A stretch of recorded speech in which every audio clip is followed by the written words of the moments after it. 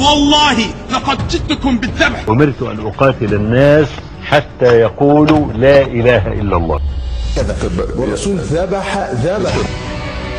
يقطع المرأة يقطع الصلاة صلاة المرأة ثلاثة الكلب وال- والمرأة والحمار. بين الله سبحانه وتعالى عقوبة الزنا في كتابه وقال الله جل وعلا الزانية والزاني فاجلدوا كل واحد منهما مئة جلدة. لذا قال نبينا صلى الله عليه وسلم كما في صحيح البخاري من حديث ابن عباس رضي الله عنهما من بدل دينه فاقتلوه. أحبوا أعداءكم. أحسنوا إلى مبغضيكم. باركوا لاعنيكم يا أبتاه اغفر لهم. لأنهم لا يعلمون ماذا يفعلون. God loves you. And He loves you with a love that you don't even know anything about.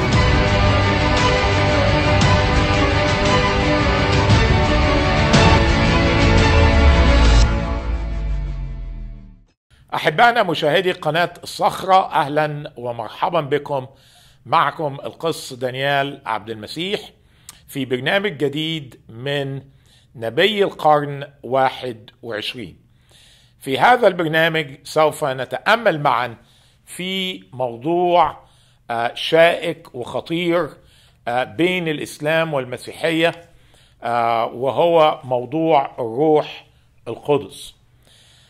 يا ترى ما هو مفهوم الروح القدس في الإسلام ومفهوم الروح القدس في المسيحية؟ أحسن حاجة نرجع إليها إذا رجعنا إلى القرآن آه، في سورة الأحزاب والآية 85 آه، القرآن هنا آه، كان في بعض الصحابة آه، الظاهر إنهم سمعوا عن موضوع الروح القدس من المسيحيين الذين يعيشون في شبه الجزيرة العربية في وقت ظهور الإسلام. فكانوا يسمعون المسيحيين يتكلمون عن الروح القدس وقوة الروح القدس وعمل الروح القدس ومعجزات الروح القدس. آه فذهبت الصحابة آه إلى نبي الإسلام وسألوه عن الروح القدس. فقالوا له يا رسول الله آه، ما هو الروح القدس؟ كلمنا واشرح لنا لأن إحنا بنسمع من النصارى والمسيحيين عن الروح القدس.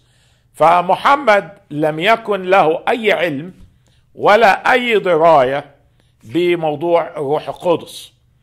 فغالبا ذهب إلى غار حراء وانتظر إن الملاك يجيله وإنه يجاوبه حتى يستطيع أن يجاوب آه، الصحابة اللي سألوه. والظاهر إنه ما جاتلوش إجابة كافية آه، من الملاك. طبعا هو بيزعم إن في ملاك آه، بيجيله في غار حراء وبيديله آه، الإجابة على جميع أسئلته. آه وكل ده طبعا آه فبركة. عارفين إنه مفبرك. فبناء على القصة التي ذكرت في سورة الإسراء آه والآية 85 إنه محمد ذهب لغار حراء فجاله الملاك وقال له الآية دي اللي نزلت عليه آه ويسألونك عن الروح. فقل الروح من أمر ربي فالظاهر عليه هو اتلخبط مش عارف هو بيتكلم على روح الإنسان ولا على روح الله. فالملاك قال له يسألونك عن الروح فقل الروح من أمر ربي. ودي كانت آه، إجابة القرآن آه، بخصوص آه، الروح القدس. فطبعا إجابة غير شافية. والسؤال اللي عايزين نسأله النهارده ما من هو الروح القدس؟ وما هو الروح القدس؟ وما هي أعمال الروح القدس؟ إذا رجعنا للإنجيل نكتشف إجابة شافية.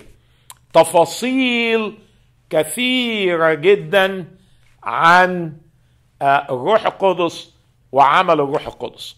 وفي رواية أخرى في الإسلام إن الروح القدس هو ملاك. يعتقد المسلمين إن الروح القدس هو ملاك لكن في الحقيقة الروح القدس ليس هو ملاكا ولا هو روح إنساني ولكن الروح القدس هو روح الله. عشان كده أطلق عليه الروح القدس الروح المقدس الروح القوة المحركة الذاتية الوجود في شخص الله. وأول إشارة للروح القدس جاءت في العهد الجديد كانت بخصوص عيد الميلاد. وهنا نكتشف المعنى الحقيقي للروح القدس. لما جاء الملاك وقال لمريم العذراء إنها ستلد وسيحبل بها به فيها من الروح القدس أي بالمسيح. هتكون حبلى بالمسيح. وقالت مريم كيف يكون هذا؟ فقال لها الملاك روح العلي تظللك قوة العلي تظللك. والمولود المولود منك يدعى قدوس مش قديس قدوس. وسيدعى اسمه يسوع لأنه يخلص شعبه من خطاياهم. فهنا أول حاجة الروح القدس ليس ملاك لأن الملاك هو اللي قال للعذراء مريم في العهد الجديد. الروح القدس يحل عليك وروح العلي تظللك. فهنا الروح القدس هو روح العلي هو روح الله. فالروح القدس أرسل إلى مريم وظل مريم وجعل مريم حبلى بالمسيح بقوة الروح القدس. لذلك الملاك قال للعذراء مريم المولود منك يدعى قدوسا. القدوس المولود منك. مش القديس القدوس. بمعنى إن هذا المولود هو الله المتجسد. لأنه لا قدوس اسم قدوس حتى في الإسلام يقولوا على الله الحي القدوس. كلمة قدوس تنفرد بشخص واحد وهو الله عز وجل. فالمولود منك يدعى قدوس. آه بالطبع ما فيش آه اتنين آه قدوسين. ما نقدرش نقول الله قدوس والمسيح قدوس لكن بنقول إن الله هو المسيح المتجسد. فالمولود منك يدعى قدوس. فالآية في القرآن في سورة آل عمران والآية 47 بتقول قالت هنا ترجع على مريم قالت مريم ربي إني يكون لي ولد ولم يمسسني بشر. فهنا سؤال آه نزيه آه من مريم العذراء آه طبعا القصة أخذت من الإنجيل. لا أعتقد أن محمد جاله وحي ولا حاجة لكنه أخذها من الإنجيل. والإنجيل قبل القرآن بحوالي 575 سنة. وده كيف جاء القرآن والإسلام ده موضوع تاني ممكن نخصص له حلقة أخرى. إنه أخذ وسرق 80 و 85% من الكتاب المقدس. ثم مزج هذا بالخزعبلات الإسلامية وبالأمور الشيطانية وبأمور الجن وبأمور الجنة اللي فيها نساء وأنهار وخمور وهذا ما أعده الله للمحسنين والمؤمنين. أليس ده جزاء الإحسان؟ فده موضوع تاني. لكن خلينا نركز على قالت ربي العذراء مريم كيف يكون لي ولد ولم يمسسني بشر؟ فهنا نكتشف إن الملاك ليس هو الروح القدس الروح القدس هو روح الله.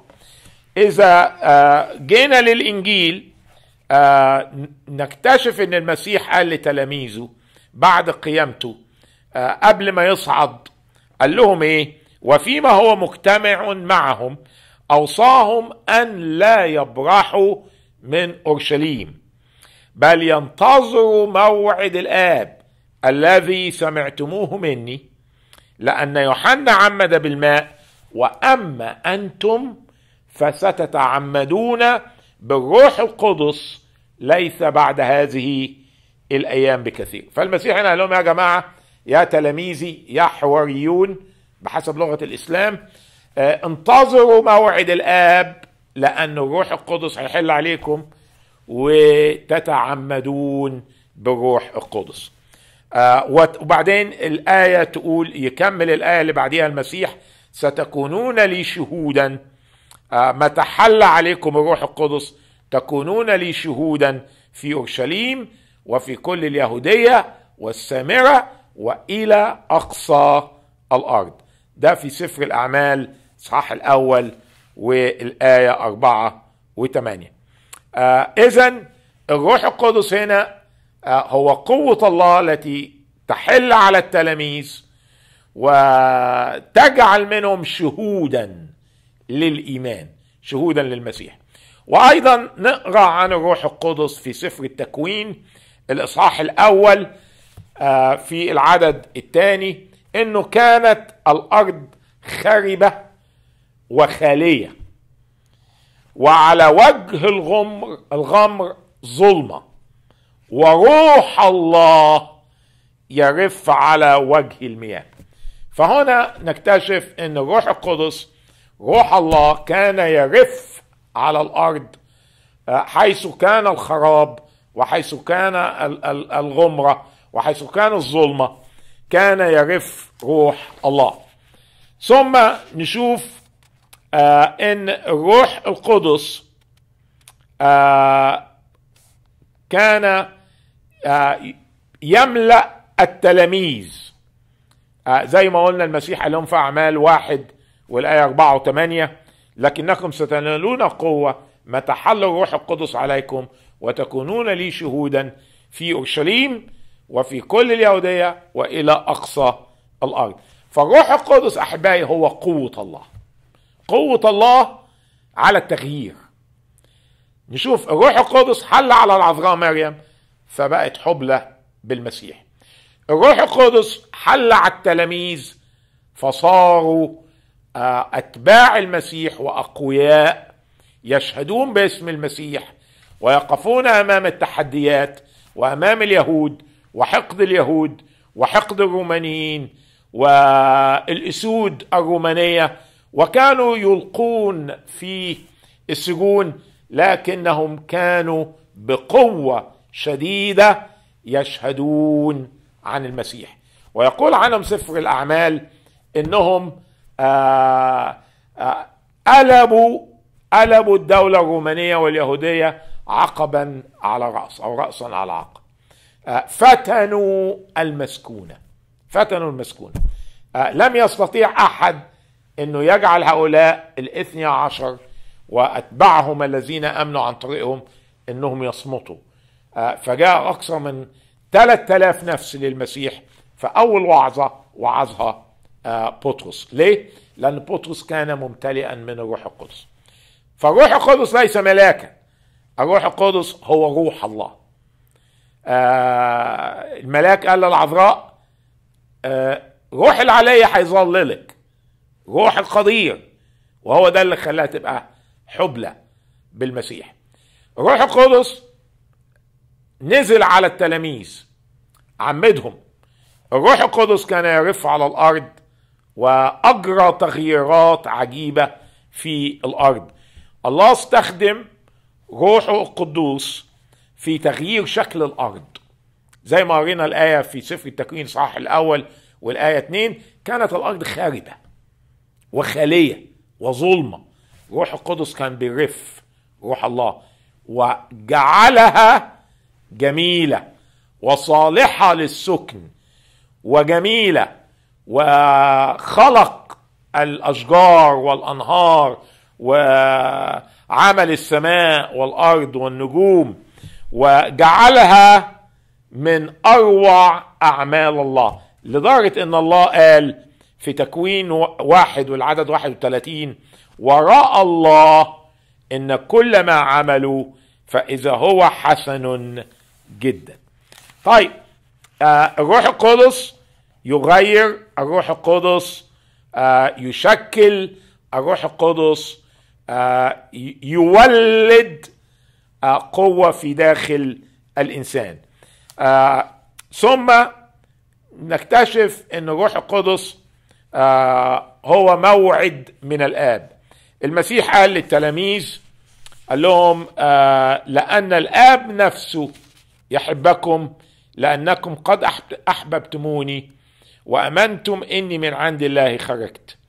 آه آه إذا الله بيحبنا الله الآب يحبك يحبني فأرسل روحه ليسكن في داخلنا. وهذا ما حدث مع الحواريون في يوم الخمسين. يقول الكتاب ولما حضر يوم الخمسين كان الجميع بنفس واحدة. وصار بختة من السماء صوت كما من هبوب ريح. لاحظوا الحتة دي صار بختة صوتا من السماء كأنه كأنه صوت هبوب ريح عاصفة وملأ كل البيت حيث كانوا جالسون. بيتكلم عن التلاميذ. فالروح القدس هو روح القوة روح الغلبة وروح الانتصار. وده اللي أعطى التلاميذ أنهم يكونوا شهود للمسيح وسجنوا ورجموا اتحطوا في قيود ماتوا قتلا بالسيف طاقوا في جنو في جلود غنم وجلود معزة معتزين مقربين وهم لم يكن العالم مستحقا لهم. كانوا تائهين في براري وجبال ومغاير شقوق ولكن الله أعطاهم النصرة وبفضل الروح القدس الذي حل على التلاميذ.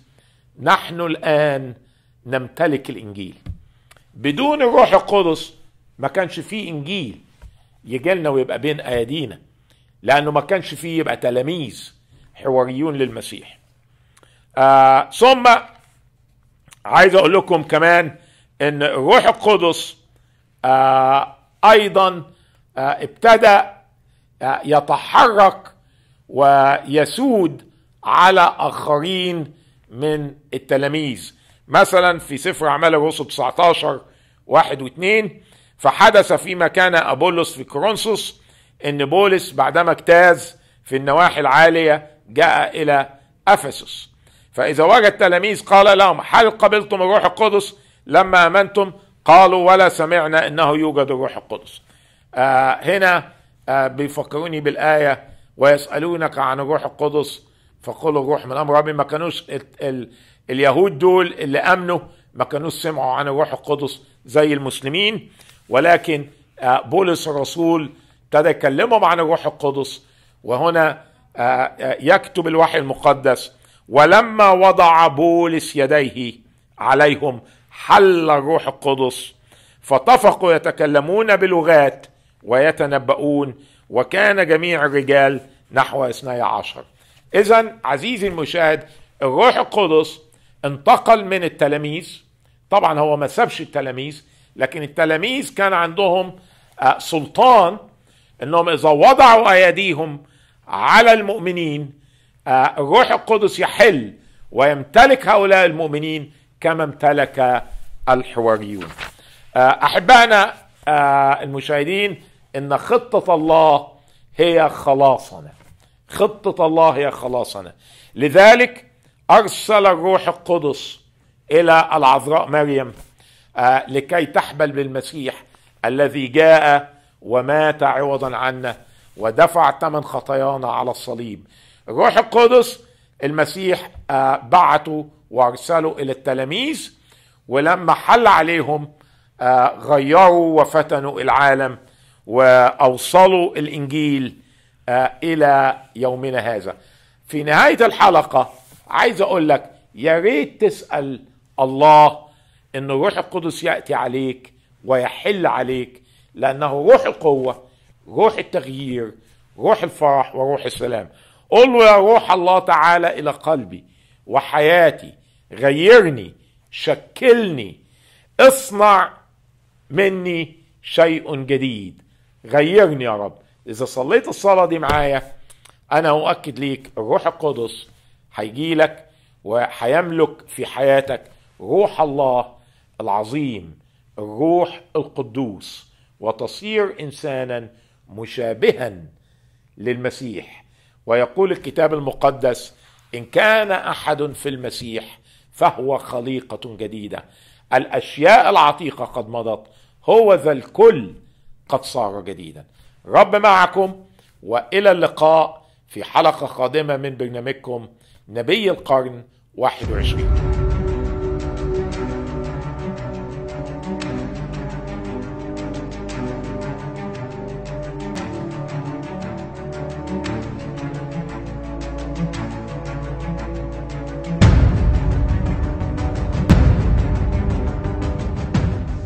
والله لقد جئتكم بالذبح. أمرت أن أقاتل الناس حتى يقولوا لا إله إلا الله. كذا والرسول ذبح ذبح. يقطع المرأة يقطع الصلاة صلاة المرأة ثلاثة الكلب والمرأة والحمار. بين الله سبحانه وتعالى عقوبة الزنا في كتابه وقال الله جل وعلا الزانية والزاني فاجلدوا كل واحد منهما مئة جلدة. لذا قال نبينا صلى الله عليه وسلم كما في صحيح البخاري من حديث ابن عباس رضي الله عنهما من بدل دينه فاقتلوه. أحبوا أعداءكم. أحسنوا إلى مبغضيكم. باركوا لعنيكم. يا أبتاه اغفر لهم. لأنهم لا يعلمون ماذا يفعلون. God loves you. And He loves you with a love that you don't even know anything about.